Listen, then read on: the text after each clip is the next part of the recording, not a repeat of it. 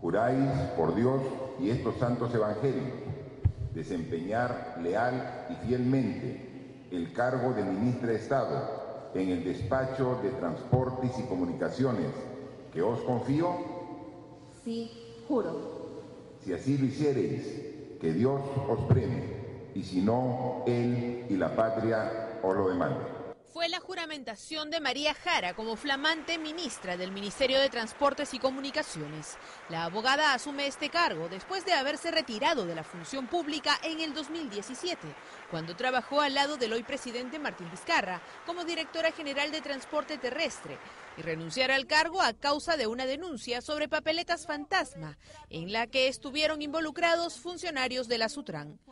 Otro de los cargos en los que se desempeñó fue como gerente de transporte urbano entre el 2011 y 2014, al lado de la exalcaldesa de Lima, Susana Villarán. Miguel Luis Estrada Mendoza, juráis por Dios y estos santos evangelios desempeñar leal y fielmente el cargo de ministro de Estado en el despacho de vivienda, construcción y saneamiento que os confío? Sí, juro. Si así lo hiciereis, que Dios os premie, y si no, Él y la patria os lo demandan. El ingeniero civil Miguel Estrada también asumió hoy el cargo de ministro de Vivienda.